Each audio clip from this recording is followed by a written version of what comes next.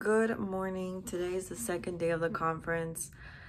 I woke up with a really splitting headache and I was like not wanting to get out of bed, but I was like, if I don't get out of bed, it's gonna get worse.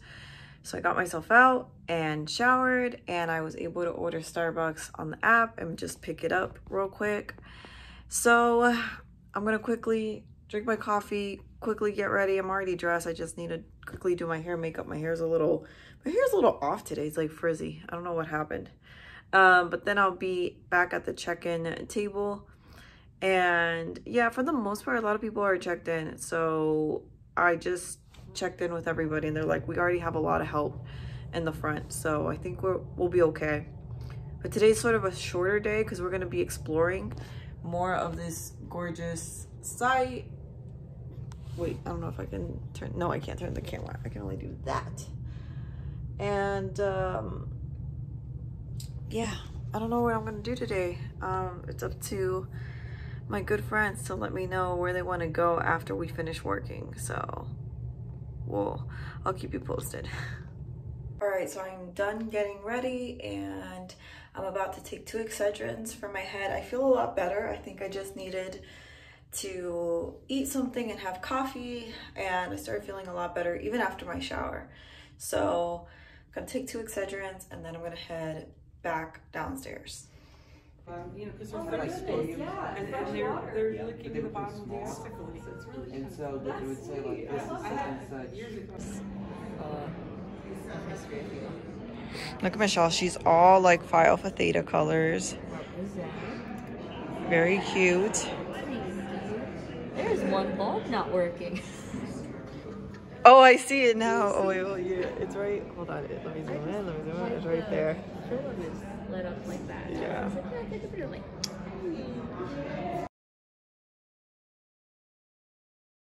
Guys, this is the man of the hour, right there. Him. He made it all possible. Can't take that much credit.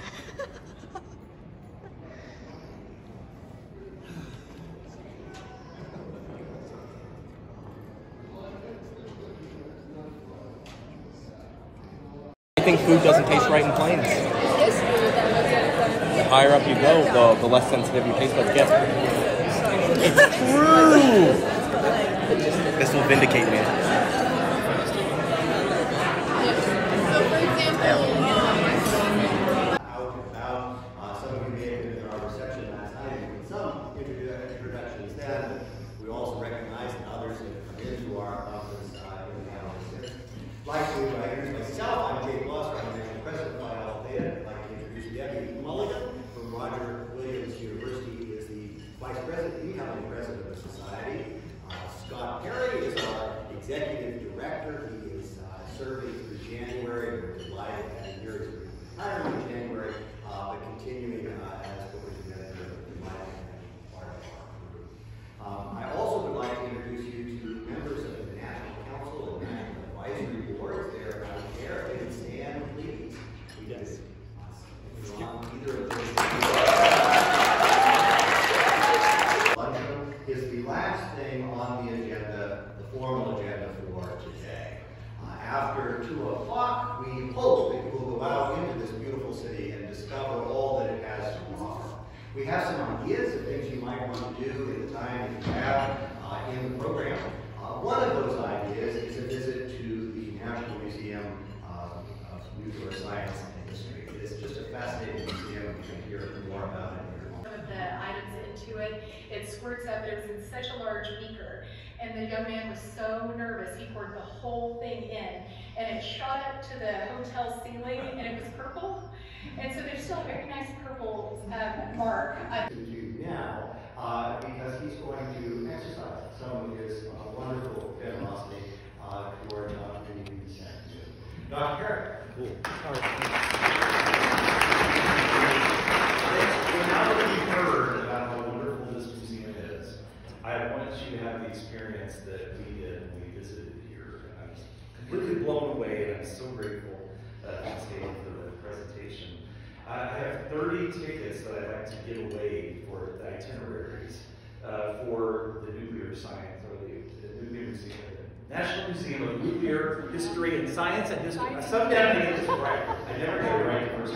But I have 30 tickets. The best thing about this is there's a there's an address on the back, so you can get an Uber to go there. Uh, this this museum closes at I 5 designed o'clock. those. Good, excellent. Uh, but the museum does close at five o'clock, and so I would like to just come and, and I'll be sure to give you one, get an Uber, get a group together, and, go see the museum for yourself. Um, the other itineraries that I hope you will also explore, if this doesn't maybe excite you this way, uh, I want you to come visit the Indian Pueblo Cultural Center. I actually heard one of the papers was about the uh, reservation schools. Uh, something that if, if you're interested in this topic, I guarantee you, go to this museum and you will get a full-on educational experience about that, uh, that moment. This is uh, to celebrate the 19 Pueblo peoples in this region, and they, they explain the history of the people of the region in a really fascinating way. I've arranged for 20 tickets to be to be held at the museum, so I don't have a site, but I can give you the address, get an Uber. The problem with this one is it closes at 4 today, so if you know you want to go to this, they also have a wonderful restaurant featuring native cuisine to illustrate what kinds of foods were available to native peoples in this region, and you can eat some for yourself. So it's not just people will go there and look at the shops or kind of explore around, but they may not realize just how old some of the buildings are around. Look at the historical markers to tell you. Again, as historians, we look at things a little different from an average tourist, I would imagine. We want to see and experience what the center of this uh, amazing city was when it was first founded. Uh, again, they explored the native peoples and how they, how they influenced the development of the city. The rich cultural and ethnic diversity of the city is highlighted everywhere you go. So, I mean, I, I become sort of a, an evangelist for Albuquerque since I to learn something about it. And I think that for those of you, and all of us love history, all of us want to share our stories.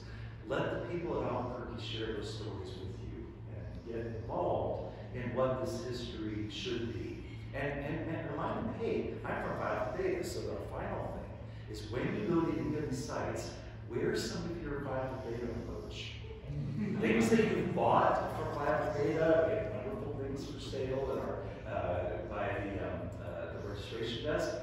But take a picture and hashtag it so that we can get the publicity of showing Alpha Theta students, faculty, advisors, all the people who are involved in Phi Alpha Theta, really celebrating this unique city and its historical heritage. So please do that. You know, like, tag, I don't know how it all works. We don't have TikTok yet, but who knows? so we want you to be uh, to be fully aware of this wonderful city. And so please come and see me afterward. I can give you directions. I can give you Uber statistics. I'll tell you where the Uber drops are for each. All right, so a little update. Um, we finished lunch and the presentation, and I think we're all gonna go to the nuclear museum. Um, and we are probably gonna have dinner around 5:30, and that's because um, the president of Alpha Theta wants to take us out to dinner because at eight o'clock we have sort of like um like a reception kind of thing. It's nothing fancy. Um, I'll probably go for a little bit, but then after that, I'm probably gonna come back to my suite because I'm tired. Not as tired as I was this morning. I don't know what like lifted me up, but I think it was good that I had my coffee, I ate, I showered, I took two Excedrins, and then I went, you know, to work. But I'm feeling fine now. I'm feeling better. Um, I'm not as tired as Michelle. Michelle is really, really tired. Um, but she still wants to go out. So we're going to go out in a few. We're going to catch an Uber and, and head out to the museum. So see you in a few.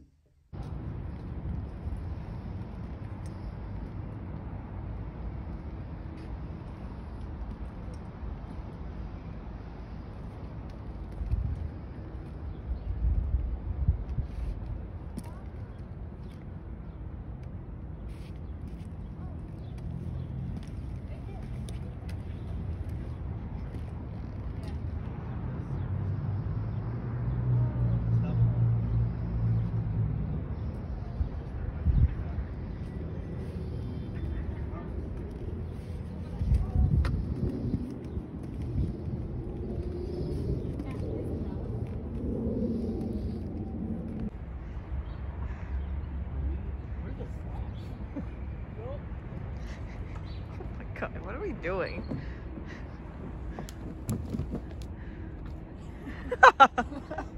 That sounded really static. It was. I heard the crinkle the whole way down. It was a good slide. I love how the Phi Alpha Theta workers are just Yeah, now. all the other history. On the playground. She didn't work.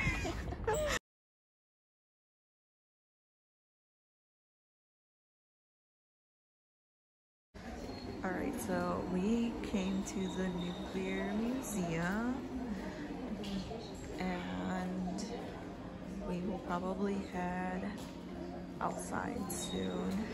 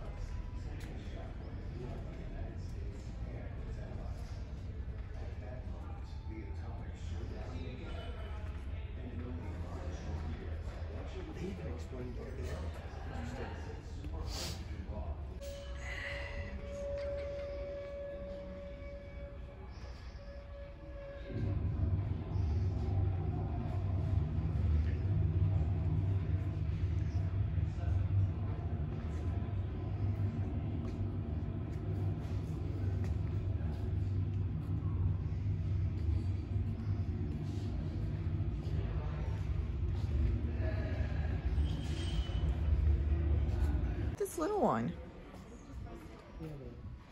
Oh, wow. Yeah, yeah. Wow. Following the end of World War II, relations deteriorated quickly between the United um, States and the Jump USSR, wartime allies against the Nazis.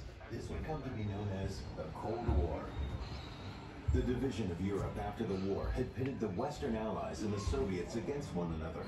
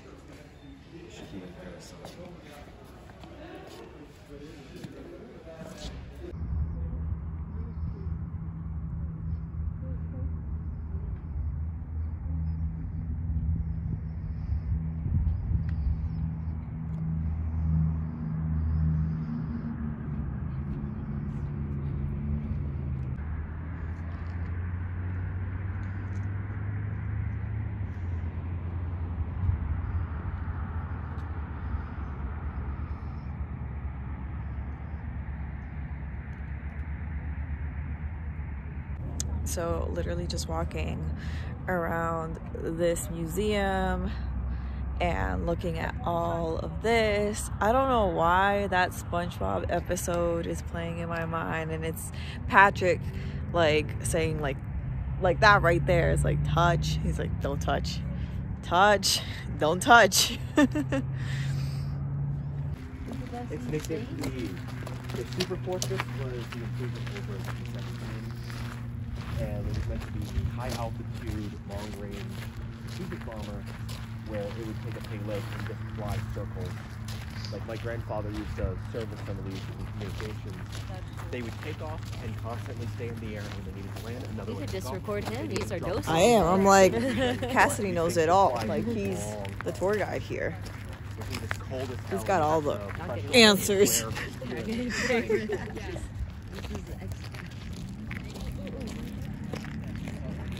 like this big. Right. So yeah. hitting there is a pretty devastating strike. That's insane.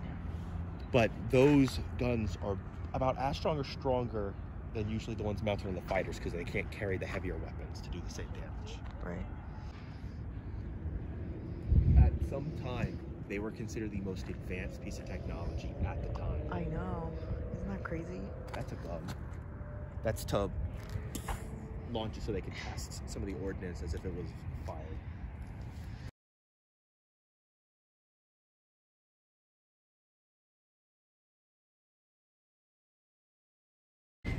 update. We're back in the hotel. We're gonna go find a place to eat for dinner. And yeah, my phone is about to die, so I'm charging it on the portable charger. Somebody recommended this place, but I didn't know how How it works? Yeah. It's, no, it's not a. It's not a picture. It's a video. Oh, It's for the YouTube. oh, what are you? I'm the only one that got my food because I went to the place with no line. Well, we were the only line in that place. Yeah. We made the line. We were the line. Also, I even got into the your line and it still came Nice, out. so crappy. And then you should look at yours, like that. Yes, that's Yeah, mine. Really yummy. Show the merch. Then, yeah. Oh, showing off the merch. Represent, represent. Everywhere, even on the streets. Oh, okay. You got the merch too. Oh, and there's a moon over there. Did you show the moon? Yeah, I'm showing the moon right now. I'm so sorry. Thank you so much. Who is saved? Who is saved?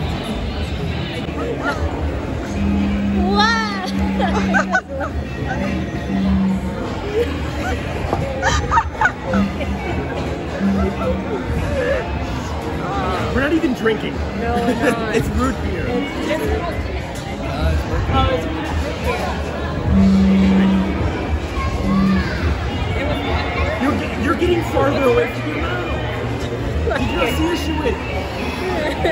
where the zone I'm could gonna be. find it.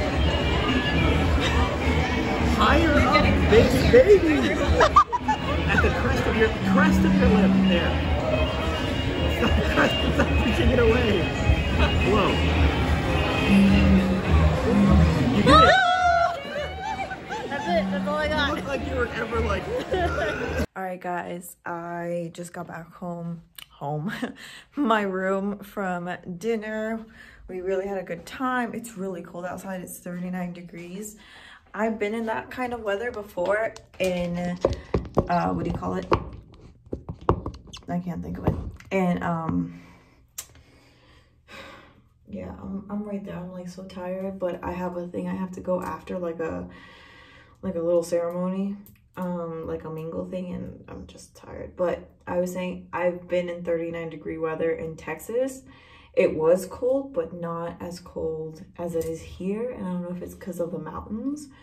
So i'm gonna be here for a little bit. I'm gonna reapply my lipstick um and i don't know how long i'll stay over there for that little ceremony. What's really funny is that the ceremony is right next to my room. So I can't be late. But the one thing I am to do, I'm to keep this on, but I'm to take out the long sleeve shirt because I'm kind of getting hot. I'm to keep the that on. I think I might put on my boots. And yeah, that's what I'm to do. So I I don't know if I'll record that or if I can record that, but yeah, it's been a really, really long day. And for some reason, I was more exhausted yesterday than I was today, but I'll take it. And my goal is to try to go to bed early tonight. So I'm gonna try to do that. And yeah, tomorrow's another day, a new day. So all right, so the four of us are sitting at this table, and this is the kids' table because we're on track. I have